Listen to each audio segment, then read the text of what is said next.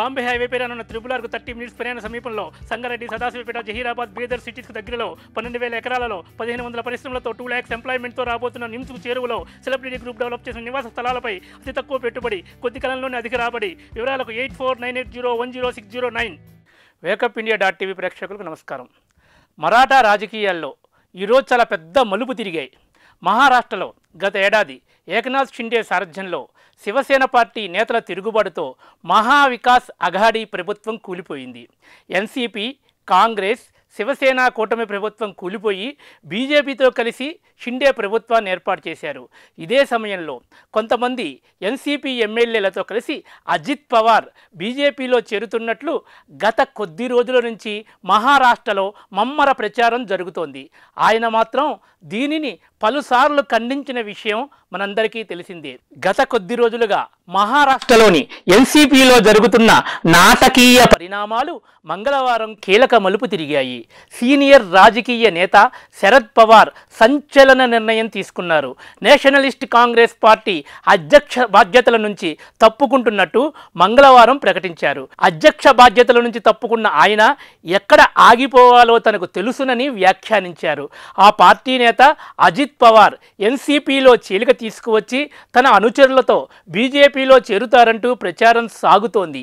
ఈ నేపథ్యంలో శరద్ పవార్ అధ్యక్ష పదవికి రాజీనామా చేయటం చర్చాంశనీయమవుతోంది. కేవలం పార్టీ అధ్యక్ష బాధ్యతల నుంచి మాత్రమే తప్పుకుంటున్నట్లు పవార్ ప్రకటించారు. రాజకీయాల్లో కొనసాగుతానని స్పష్టం చేశారు. ముంబైలో జరిగిన తన ఆటోబయోగ్రఫీ ఆవిష్కరణ కార్యక్రమంలో పాల్గొన్న శరద్ పవార్ పార్టీ అధ్యక్ష పదవి నుంచి తప్పుకుంటున్నట్లు ప్రకటించి అందరినీ ఆశ్చర్యానికి గురిచేశారు పవార్ ప్రకటనతో తీవ్ర నిరాశకు గురైన ఆయన అభిమానులు నిర్ణయాన్ని వెనక్కి తీసుకోవాలని డిమాండ్ చేశారు. కార్యక్రమంలో పెద్ద ఎత్తున నిరసనకు దిగిన అభిమానులు కన్నీటి పర్యంతమవుతున్నారు. తన రాజీనామా నేపథ్యంలో శరద్ పవార్ మాట్లాడుతూ గత ఆరు దశాబ్దాలుగా మహారాష్ట్రలోని ప్రజలందరూ నాకు మద్దతుగా నిలబడి మీరు చూపిన ప్రేమ అభిమానం ఎప్పటికీ మర్చిపోలేను. పార్టీకి కొత్త తరం అవసరం ఎంతైనా ఉంది. కొత్త తరం పార్టీకి నాయకత్వం వహించాల్సినటువంటి సమయం ఇది అంటూ కొత్త నీరు రావటం పాత నీరు సాగరంలో కలవటం అత్యంత సహజం. అలానే పార్టీకి కూడా కొత్త తరం కొత్త రక్తం అవసరం ఏర్పడింది. కొత్త తరం పార్టీ దిశను నిర్దేశించాల్సిన సమయం ఇది. అధ్యక్షుణ్ణి ఎన్నుకోవడంపై నిర్ణయం తీసుకోవడానికి ఎన్సీబీ సభ్యులతో కూడిన కమిటీని ఏర్పాటు చేయాలని నేను సిఫార్సు చేస్తున్నాను అని ప్రవార్ ప్రకటించారు. మరోవైపు కొత్త అధ్యక్షుడి ఎంపికకు ఒక కమిటీని నియమించారు.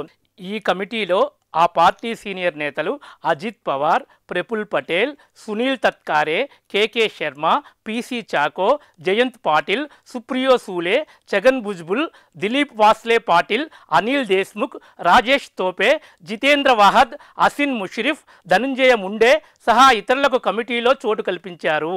ఈ వీడియో మీకు నచ్చితే లైక్ చేయండి షేర్ చేయండి.